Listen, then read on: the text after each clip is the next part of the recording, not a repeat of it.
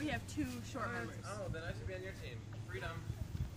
Sorry, guys.